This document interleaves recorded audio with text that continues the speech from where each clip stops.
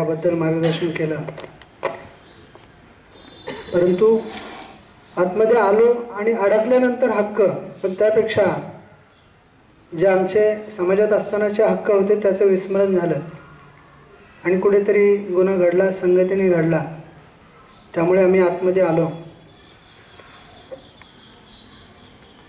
शेवटची घटिका ही प्रत्येकाला असते. परंतु त्या घटिकेपर्यंत जाणार जाणारे आणि पोचवणारे हे कोण? आपलेच असतात बाहेरचे नसतात.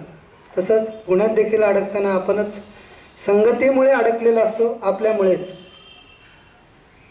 एक छोटेसे वाक्य वाचायला मिळालं होतं. मंजिल तो तेरी यही थी पर उम्र लगाई तूने आते आते. क्या मिला तुझे दुनिया से? अपनों ने ही जलाया तुझे जाते जाते. आपल्या संगतीमुळे आपण गुन्ह्यामध्ये कुठेतरी अडकतो आपल्या मित्रांची संगत असेल आपली अजून कुठली संगत असेल तर संगतीमुळे गुन्ह्याचा प्रकार हा संगतीमुळे घडतो. पण आता अडकलोय मग सुटायचा मार्ग काय? तर सुटायचा मार्ग जामीन कसा मिळावा त्याची तरतुदी काय आहेत यासाठी मी सन्मान्य पाटील मॅडमला विनंती करतो की त्यांनी आम्हाला जामिनीचे काय तरतुदी असतात याबद्दल मार्गदर्शन करावं ज्ञान द्यावं.